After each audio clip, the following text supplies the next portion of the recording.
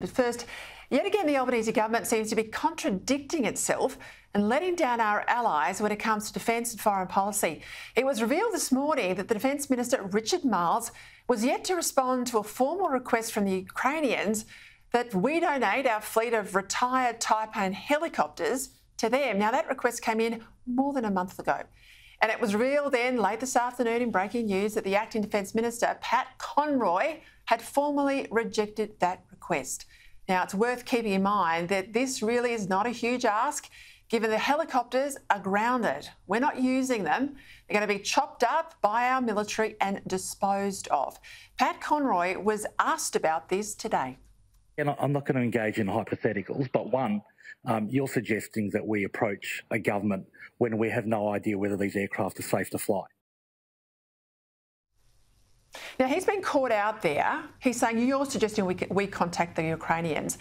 No, they've already contacted you. That's a blatant mischaracterisation of the situation.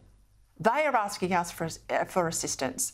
For more on this, and we're, and we're rejecting them, we know that now this afternoon. For more on this, I'm joined now by Michael Shoebridge, the Director at Strategic Analysis Australia.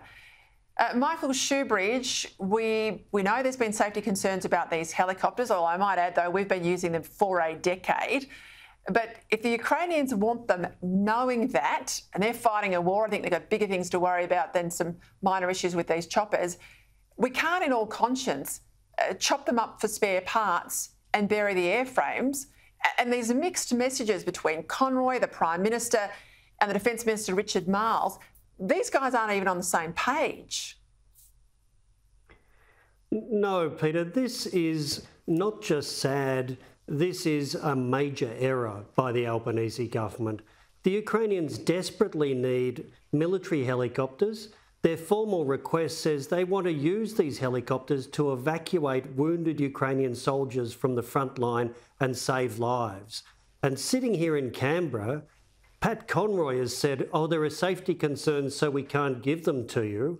Well, the safety concerns the Ukrainians have are that they're in a war and they need to do everything they can to protect their soldiers. We should help them by giving them things we're getting rid of and we can't even sell. It's it, the minister is being run by the Defence Department, and it turns out the only thing the Defence Department can do quickly is make mistakes. Yeah, I was going to say that years ago I worked for Defence Minister Robert Hill, and it feels like right now the minister's not running defence, defence is running the minister.